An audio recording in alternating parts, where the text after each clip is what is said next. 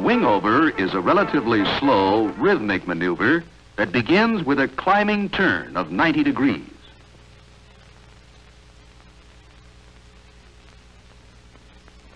and ends with a smooth diving turn of 90 degrees, recovering at approximately the same attitude and airspeed with which the maneuver was started, and achieving a 180 degree reversal in the direction of flight. In training, it is always done in a series of two. Get this pattern in your mind as a blueprint of what to do when you fly your first wing over series. You've lined up a road or section line to keep your bearings clear in the 180 degree change of direction.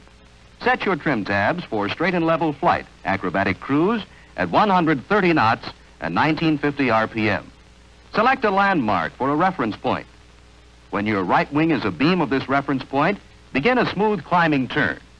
You combine your climb and bank smoothly and continuously until the nose of the airplane reaches the highest point of the climb at approximately 45 degrees from the original heading. From this point, the nose movement continues downward in a circular path towards the horizon, and the degree of bank is increased to its steepest angle when the airplane has turned to a point abeam of the original heading, or this 90 degree point.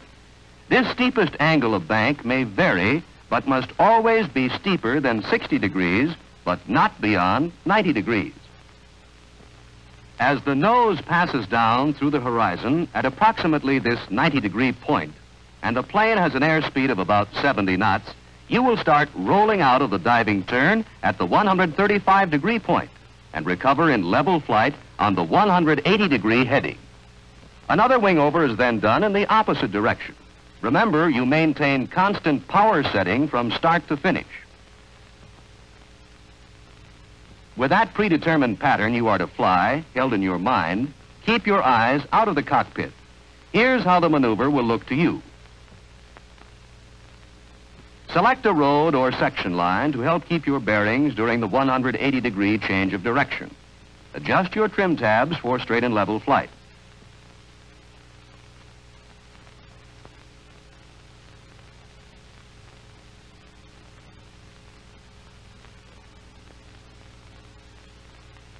Pick out some landmark for a reference point. And when it is a beam of your wingtip, in this case the right one, apply coordinated control pressures smoothly to avoid slipping and skidding, and start your climbing turn to the right. Watch the position of your reference point in relation to your plane. Your first checkpoint is the highest nose attitude. Your heading is 45 degrees from the original heading. Your reference point is at a 45 degree angle from you. A line drawn from it would bisect the angle formed by your right wing and the nose of your plane. Continuing your turn, the nose of the plane circles down toward the horizon, meeting it at your reference point when you reach a 90 degree heading. When you are abeam of the original heading at this 90 degree point, the angle of bank is at its greatest, being more than 60, but less than 90 degrees. A quick glance shows your airspeed to be approximately 70 knots. As you start rolling out of the diving turn, your next checkpoint is when your bearing is 135 degrees from your original heading. Now a line running from your reference point on the horizon bisects the angle formed by your left wing and the nose of your plane. Completing the right wing over, you are on the 180 degree heading. You then complete the series with a left wing over, which is done exactly the same way, but with opposite control pressures. Remember that turns to the right require more rudder than turns to the left to offset the effect of torque and slipstream. Also remember that wing overs are always done in a series of two, and that before a series is started, you must make certain that the area is clear. Select a road or section line to help keep your bearings in the 180 degree change of direction.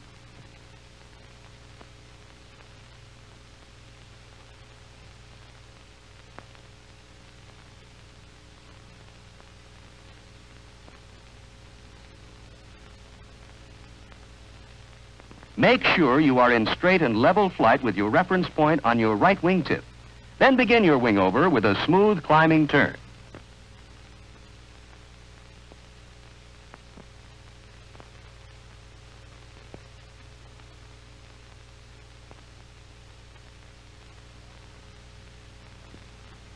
The chandelle is a maneuver that combines a gain of altitude with a 180 degree change of direction in a maximum performance climbing turn and a precision rollout.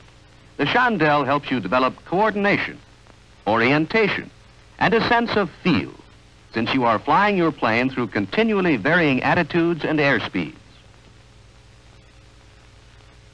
As in wingovers, to help keep your bearings in the 180 degree direction change, line up on a road or section line below. At 130 knots and 1950 RPM, set your trim tabs for straight and level flight.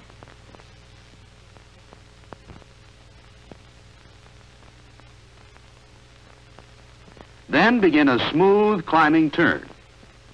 At about 90 degrees of turn from the original heading, your bank will be at its steepest angle or approximately 60 degrees.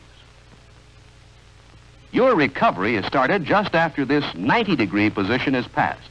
The roll in and out is done at the same rate. You finish rolling out of the turn on a heading 180 degrees opposite to that of entry. Your wing should be level and your airspeed slightly above stall, about 70 knots. Hold this attitude for a brief moment while you check your reference line. Then lower the nose smoothly to level flight attitude. The entire maneuver is done with a constant power setting. Here is how the right chandelle will look to you. You are in level flight, your nose just below the horizon. Both wings are level. Pick out a reference line to help keep your bearings.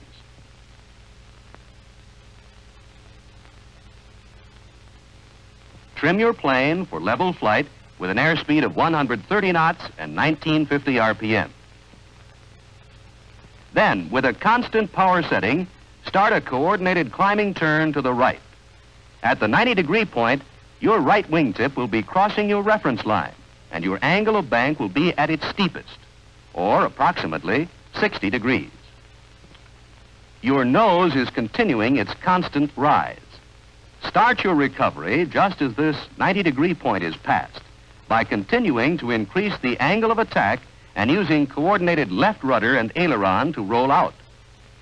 At the 180 degree heading, both wings should be level.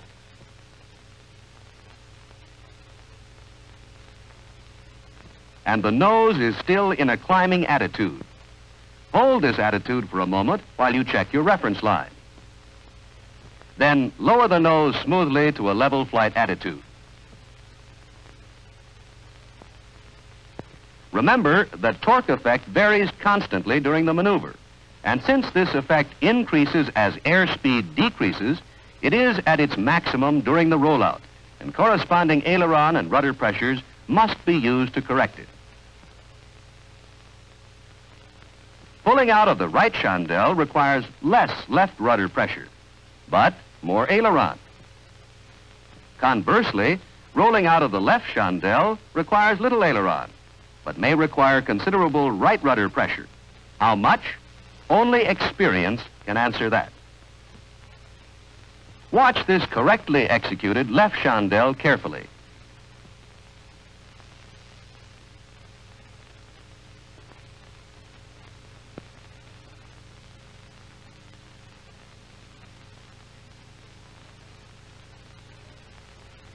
Now watch the movements of the controls that accomplished it.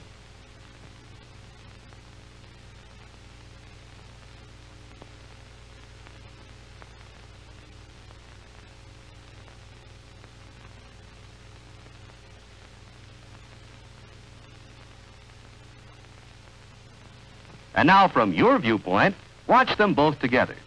You start with a coordinated climbing turn.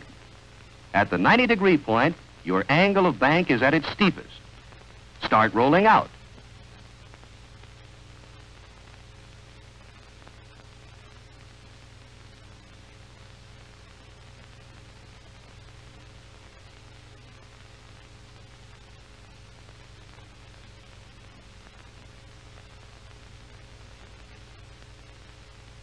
At the 180 degree heading, your wings are level.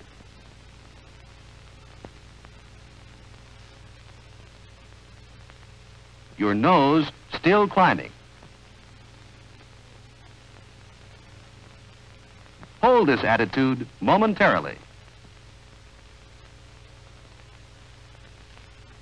Then lower the nose to level flight.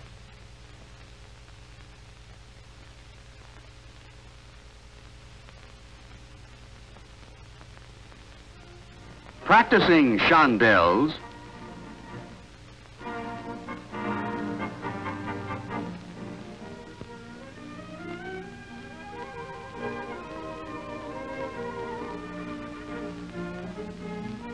and wingovers will help you greatly in mastering more advanced maneuvers as your training progresses.